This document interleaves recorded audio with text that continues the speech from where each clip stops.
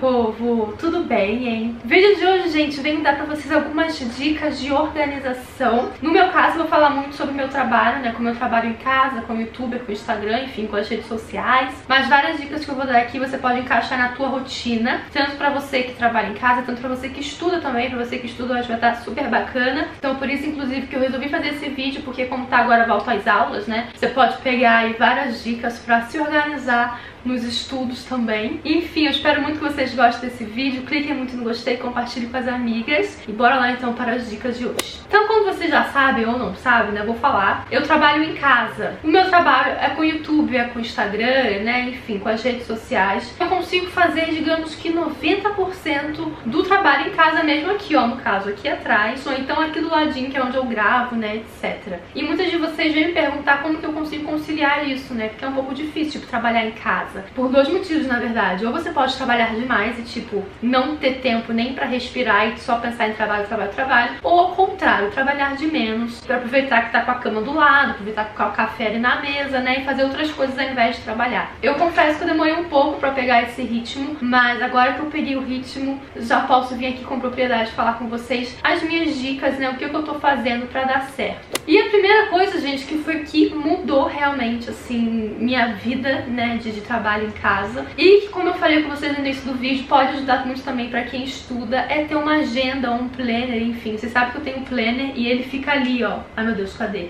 Mas ele está aqui, do ladinho, abertinho. Ele sempre fica ali, que é onde eu trabalho mais, né, no meu home office. E depois que eu tive o planner, realmente mudou minha vida. Porque eu anoto tudo ali, sabe? Eu consigo deixar tudo que eu preciso fazer ali naquela, naquele papel. Minha segunda dica, gente, é anotar os afazeres no dia anterior. E aí, assim, ó, muita gente fala assim, ah, chega no domingo, eu sento, anoto tudo que eu tenho que fazer durante a semana. Gente, comigo não rola, sério, não rola. Uma coisa ou outra até consigo, por exemplo, marquei um médico pra daqui a 10 dias, eu pego lá e anoto no meu, meu planner. Mas eu pegar no domingo e anotar tudo, por exemplo, ah, na segunda eu preciso gravar isso, isso, isso, na terça eu preciso gravar isso, isso, isso. Gente, juro, já tentei e eu não consigo. E aí, ao invés de ficar me martelando a cabeça porque eu não consigo, então eu bolei esse esse jeitinho aí, que é o jeito que eu consigo. E dessa forma, gente, sério, mudou também minha vida completamente. Então, por exemplo, agora são 3h31, eu tô aqui gravando e tal, vou editar algumas coisas. Chega mais no final da tarde, eu anoto o que eu preciso fazer no dia seguinte. E o que eu acho muito louco, assim, se eu não anotar no dia anterior e quando eu acordo eu pensar o que eu tenho que fazer, eu fico perdida. Eu não sei o que eu tenho que fazer. E mesmo sabendo o que eu tenho que fazer, meio que eu não, eu não consigo seguir, sabe? Então eu percebi que eu anotando no dia anterior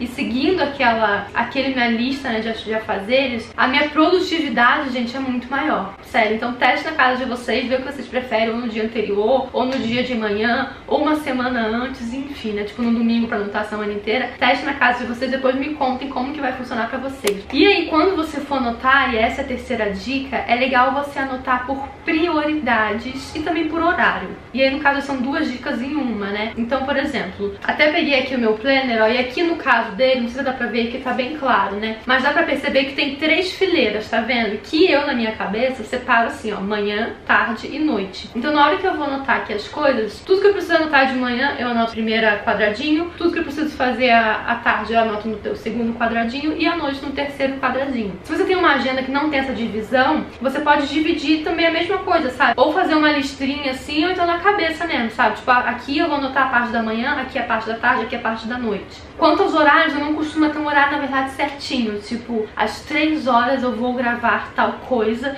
e às 4 eu vou editar. Não. Mas eu coloco assim, ó, pela manhã eu preciso fazer isso. Pela tarde eu preciso fazer isso e à noite eu preciso fazer isso. Também esse horário certinho comigo não dá muito certo, porque às vezes eu penso que eu vou demorar uma hora pra gravar eu demoro mais, enfim, aí fica meio confuso. Então eu só anoto, na verdade, assim, por período, na verdade, não por horário. Acho que tá aí, é por período, não por horário. E o lance também de determinar prioridades é bacana porque você vai colocando ali pelo primeiro, os primeiros tópicos, né, digamos assim, o que você realmente precisa fazer naquele dia. E vai deixando por último o que você pode deixar talvez por outro dia, né, caso você não consiga fazer naquele dia, entendeu? Então sempre eu faço isso, coloco por período e dentro do período eu coloco por prioridade. Outra dica também, eu sempre dou um, um checkzinho, assim, tipo, ok, enfim, qualquer coisa, quando eu finalizo aquela tarefa, pra eu ter noção depois do final do dia do que que eu fiz e do que que eu deixei de fazer. Que aí o que eu deixei de fazer eu deixo pro próximo dia e anoto ali no próximo dia, entendeu? Isso também é super bacana pra eu me organizar e ter noção do que que eu fiz e o que que eu não fiz. E nesse lance dos horários, gente, uma outra coisa, assim, que deu muito certo comigo é sempre ter um horário, mais ou menos, ali pras coisas. Por exemplo, de manhã eu costumo editar e à tarde eu costumo gravar. Não é sempre que isso acontece, às vezes eu troco, assim, a ordem, mas na minha cabeça eu deixo amanhã pra editar, é pra fazer coisas de computador, responder e-mail, etc. E à tarde, depois do almoço, pra fazer coisas de gravação, então foto, etc e tal. Por quê? Geralmente de manhã eu acordo com a carinha um pouco inchada. Então, assim, fotografar só se for produto, porque fotografar minha pessoa ou gravar nem sempre dá certo porque parece que eu tô inchada, sabe? Então eu não gosto muito em relação a isso. Por isso que eu prefiro deixar pra gravar depois do almoço. Outra dica, gente, é anotar tudo. Literalmente tudo. Do tipo, quando eu anoto aqui no meu planner o que eu tenho que fazer no dia seguinte, eu anoto desde preciso lavar o cabelo até preciso gravar tal coisa, sabe? Então assim, eu anoto tudo real, assim, ah, eu preciso ligar pra fulano, anoto lá. E por aí vai, sabe? Então como eu sou uma pessoa bem esquecida, pra mim quanto mais eu anotar, melhor. Outra dica, gente, isso pelo menos assim, comigo não deu certo, tá? É anotar em papeizinhos, tipo, sabe aqueles papeizinhos de stickzinho, sabe? Eu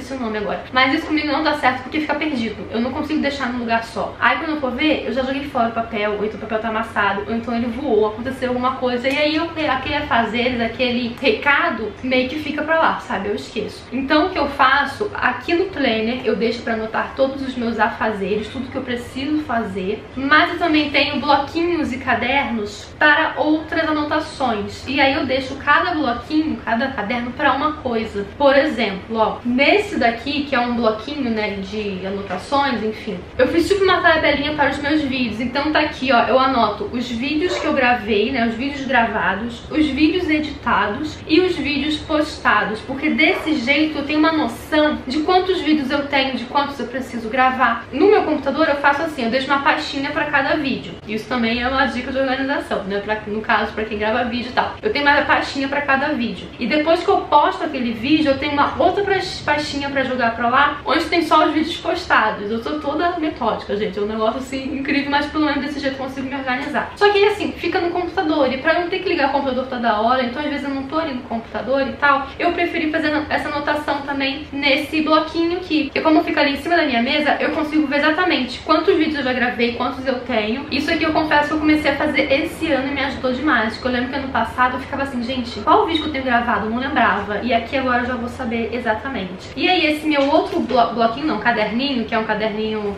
da Mimi, coisa mais linda, eu tô deixando ele só pra anotar ideias pra vídeos. Então aqui, tudo que eu tenho ideia, da mais boba até a mais tipo, caraca, que ideia, eu anoto aqui. Porque às vezes daquela ideia boba pode surgir uma outra ideia por aí vai, sabe? E gente, eu sou aquele tipo de pessoa que gosta de anotar tudo, ó, na mão, real. Não gosto de anotar no celular. Eu anoto uma coisa ou outra, tipo, talvez se eu estiver na rua, tive uma ideia de vídeo, eu pego e anoto no bloco de anotações, sabe? Mas depois eu venho e passo pra cá, porque eu prefiro assim. Mas mas, se você for da tecnologia mais do que nunca, você pode fazer isso pelo celular. Tem vários aplicativos. O próprio bloquinho de notas né, do, do celular também é super bacana. Então você vê aí o que você prefere. E eu também tenho um outro caderno. Olha louca, gente. Eu sou louca dos cadernos. Eu amo caderno, eu amo coisa de papelaria. Então eu gosto de ter cada caderno pra uma coisa. Eu tenho esse outro caderno aqui que eu deixo pra fazer só, digamos que um roteiro assim do vídeo, sabe? Então, por exemplo, nesse vídeo, pra eu não esquecer todas as dicas que eu tinha que dar, eu anotei aqui pra eu não esquecer. Então, assim, vocês perceberam que eu anoto tudo, literalmente, como eu falei. Mas eu deixo tudo anotado num determinado lugar. E pra finalizar, gente, perceba o que te atrapalha na hora que você for realizar os seus afazeres. E aí o exemplo que eu dou sempre é quando eu vou editar o meu vídeo. Eu não costumo demorar muito pra editar vídeo, dependendo do vídeo, sei lá, eu edito de 20 minutos a uma hora. Mas o que eu faço, primeiro, vou editar o vídeo, sento aqui e só saio dali quando eu acabar de editar o vídeo. Tanto é que sempre fica uma aguinha aqui, que é justamente, ah, se tu sentir sede, já tá ali do ladinho pra não ter que levantar. Só se o vídeo for desses muito longos que demora uma hora, que eu pego, levanto um pouco, vou no banheiro, vou fazer alguma coisa, até mesmo pra não ficar muito tempo sentada, sabe? Pra eu me esticar um pouquinho. Mas quando são esses vídeos mais rapidinhos, que eu demoro 20 a 30 minutos no máximo, eu sento ali e só saio quando eu acabar de editar. Por quê? Porque senão você não acaba a tarefa, sabe? Eu percebo isso. Quando eu tô no meio da edição, ah, vou fazer sei lá o quê. Ah, vou fazer sei lá o quê. No final não fiz nada, fiz tudo pela metade. Então eu pego, sento e acabo de fazer o que eu tenho que fazer. E pra isso também você tem que ver o que, que te atrapalha, se é só meio que uma falta de atenção ou tipo coisas ao redor. Por exemplo, mais uma vez falando da edição de vídeo, né? Quando eu vou editar vídeo, gente, eu literalmente esqueço o celular. Meu celular fica ali do lado. Obviamente, recebo alguma mensagem, tá? Eu vejo de quem é, mas eu vejo que é de grupo, de coisa parecida, eu nem olho. Que é justamente pra eu não desfocar ali a atenção da edição. Então é super bacana também, tanto pra você otimizar o seu tempo, porque desse jeito você faz as coisas mais rápido, né? Tanto pra você finalizar o que você tem que fazer. Então é isso, meu povo. Esses foram, assim, os pontos que realmente mudaram o meu jeito de me organizar, tanto no trabalho quanto na minha vida pessoal, porque desse jeito, como eu falei, eu otimizo meu tempo, eu consigo fazer várias coisas no dia e também finalizo as coisas, entendeu? Finalizo os afazeres. E outra coisa também, gente, agora eu lembrei aqui, principalmente pra quem trabalha em casa, tenha o horário, porque senão, como eu falei, você trabalha demais ou então de menos, sabe? Então, assim, sei lá, horário comercial, de 9 às 6. Então, dentro desse horário você vai fazer as coisas, depois disso só vai fazer se realmente for muito necessário. Se não, deu 6 horas, minha filha, acabou o computador e vai. Mas antes eu dava louca, tipo, ficava até de madrugada fazendo e tal, então hoje não. Eu prefiro dar ali 6, 7 horas, é a hora que eu estou finalizando os meus afazeres do trabalho. E aí eu vou fazer outras coisas, porque senão também só trabalho, né, gente? E a vida não é só trabalho, então precisamos pensar nesses pontos todos, né? Enfim, eu espero que vocês gostem. Como eu falei, pega essas dicas que eu dei e usa aí na sua rotina, nos seus afazeres, tanto de estudo, tanto de trabalho, quanto até as tarefas de casa mesmo, sabe? Porque até isso eu anoto, tem horário também, por exemplo, ah, eu preciso passar roupa, então tal dia eu vou passar roupa, anoto lá tal dia que eu vou passar roupa, qual período que eu vou fazer, então tudo isso é legal, super bacana. espero que ajude vocês. Se tiver alguma dica, já me conta aqui embaixo que eu sou a louca da organização, eu amo, gente, eu vivo pesquisando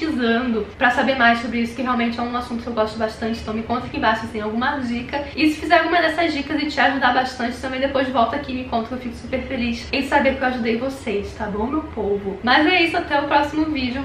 Super beijo. Tchau!